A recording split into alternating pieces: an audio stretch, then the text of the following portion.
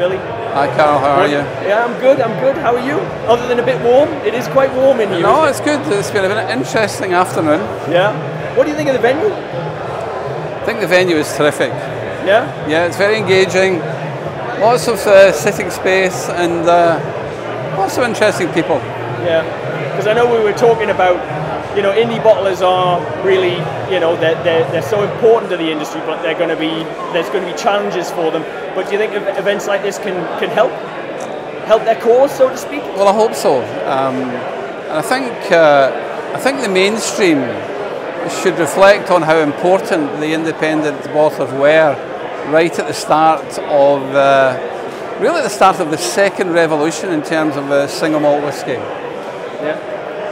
And, and do you think, uh, I mean, is an event like this, is it helpful to kind of further the cause of, you know, because a lot of consumers aren't even aware that these guys exist.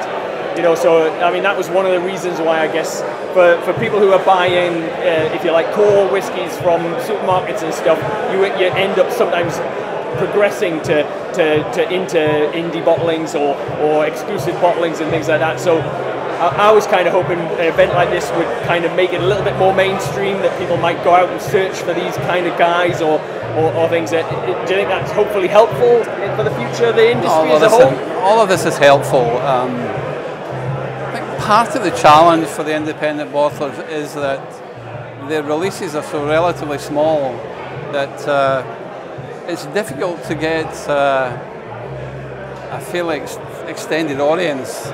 Um, having said that, you know, I, I think that their contribution to the development of single malt has been extremely important, and they were in the field. They had the concept and the ideas uh, well in advance of some of the big boys. They are, things are difficult just now for them. Availability of inventory is it's complicated and it's tight and it's getting tighter. That won't last forever, but the next two or three years could be interesting. Yeah. Look, for me, for me, it was an opportunity. Not working, not working. Um, it's a different kind of energy involved.